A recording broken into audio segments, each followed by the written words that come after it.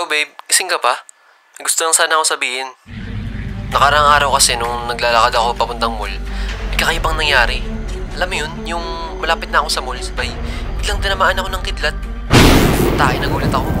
And yung malapit dun, pagkagising ko, bigla ko na lang na-realize at napag-isip-isip na, what if I should start making vlogs? You know, yung tayo-tayo lang, or kung sino pwedeng isama.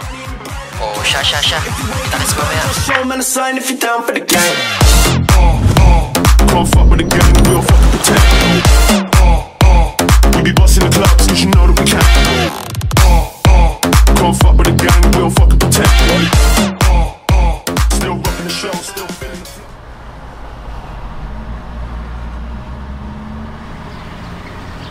Start na ba? Parang ang layo eh. Wow! Yeah, mas okay. And welcome to our first vlog ever. My name is Miko, and this is my girl, Darlene. So, bibigyan namin kayo ng 5 tips para mas step up ang pagkuha nyo ng photos. Yes, we are not pro, but we'll ensure na lahat na sasabihin namin sa inyo ay makakatulong at pwede rin nyo rin i-share sa inyong mga friends. A few months earlier, I started posting photos online. And surprisingly, people gave me positive feedbacks about it. So these tips na i-share namin sa inyo ay mga rules and guidelines na kadalasan ginagamit ko kapag nag-shoot ng photos. Though for me, there's no right or wrong way to take a photo. It all depends on you. You just have to be creative and follow some rules and guidelines to take your photos to the next level. So without further ado, let's get started. Tip number 1, angles. So before you push that button, why not take 5 extra seconds na tanongin mo yung sarili mo? Saan angle kaya maganda tong kunan? Objects or people may look cool or different. Maybe kapag waist level. Or pwede mo ring itry yung low angle. Or try mo lapitan. Try mo sa kaliwa, try mo sa kanan. Just take 5 to 10 extra seconds and find that best angle that you're looking for. And take note that different angles can bring different moods in your photos.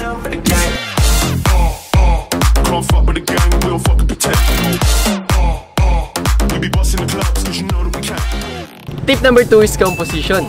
So first of all, use your grids. Open your settings, open the cameras tab, and set your grids to on. Grids are not only useful for basic compositioning like the rule of thirds, but it is also useful kapag nasushoot ka sa dagat or may background ka na horizontal line.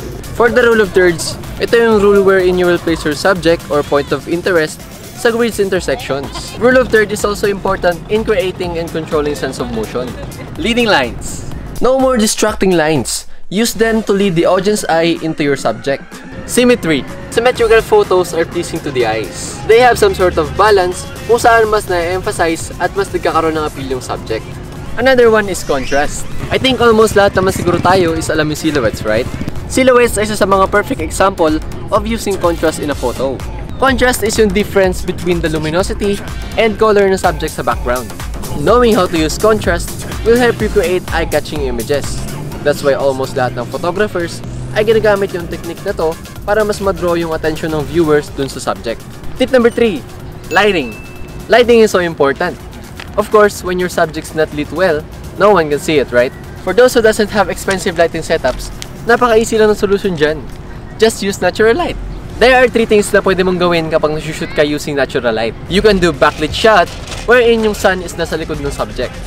Number two is direct sunlight. For the word itself, yun yung shot wherein yung araw is tumatama directly sa yung subject. One disadvantage of using direct sunlight shot is that your photo will have blown out highlights. Number three is yung shade shot, or yung nakasilong. Obviously, shade shots ay ginagamit indoors, pero pwede ring outdoors kapag yung araw ay natakpan ng puno or ng buildings. Though for me, there's no right or wrong way in shooting in different kinds of light. Personally, I shoot most of my photos between 5.30 to 6.15 in the afternoon, which is the golden hour. No harsh lights, and you can produce reddish or pinkish skies. And if you're brave enough, why not try night photography? Just always remember to place your subjects wherein maraming ambient lights. Pwedeng indoors or sa tabi ng kalsada.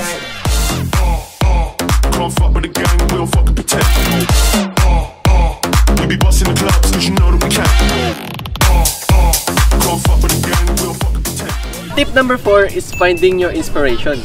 Always learn from people who are better than you. They are everywhere. Facebook, YouTube, Instagram. Ako, whenever I see people who are better than me, or kapag binakita ko kakaiba sa work nila, na motivate ako since naisip ko agad na magkakaroon ako ng bagong learning. Siyempre, andyan yung quote na kapag kaya ng iba, kaya mo rin. Not by your gears, but syempre, by your skills. Though, hindi siya instant, that's why nandyan yung mga YouTube tutorials, and yung mga find your inspiration in Instagram. There are a lot of photographers and Instagram pages na marami ako natutunan. Like Brandon Wolfel, Alex Miller, Meister Shots, and Portraits Amazing. Ang ginagawa ko lang is to look at their page whenever I want to learn a new skill. Then practice how they shoot and edit their photos since naglalagay sila ng mga before and afters and behind the scenes ng mga shoots nila. It's like visual exercise na kapag sinanay mo yung sarili mo na nakakita ng magandang photos, ay ma-apply mo rin sa sarili mo when you have enough practice. Don't always rely on yourself, and always remember na merong mas better sa'yo and make them as your inspiration to make yourself better.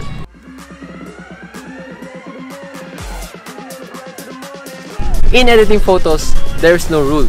Whether you just want to apply a filter or just do some basic lighting adjustments which is the most common na ginagawa kapag nag-edit. The most common question na madalas kong nare-receive is, what app or editing software do I use? Personally, I use Adobe products which is uh, Photoshop and Adobe Lightroom na magagamit mo lang if nasa Mac ka or sa Windows. Mix, what if I don't have laptop or computer? Well, there are several products na ginagamit ko if nag-edit ako sa phone. For filters, I use VSCO. For basic lighting and color adjustments, I use Lightroom Mobile. For more filters, I use Afterlight. And for compositing, I use PixArt Mobile. Though, if you're using filters or presets, may mga photo na bagay yung gantong filter, bagay yung gantong presets, pero sa ibang photo hindi naman binabagayan. That's why, always remember that every photo is different. And you have to edit them, depends on what look you want to achieve and color palette you want to use. And para saan mo yung photo? Is that for a wedding, birthday ng baby, street photography, food photography, or landscape? That's why every photo is different. Kaya before you edit them, isipin mo muna kung para saan mo gagamitin. And after that, you can decide kung paano mo siya i-edit. Sa akin, I edit my photos in Photoshop starting from zero. Pero sa ngayon, I went into the process. But, abangan nyo na lang sa next vlogs. Hello babe, sorry ko na patawag. I know, medyo busy ka ngayon, pero I just wanna say na nakalimutan natin mag-shoot ng outro for the vlog. But, never mind. I just wanna tell them na thank you for watching our vlog. And if you want more of these videos, you can subscribe to our channel. See you next week!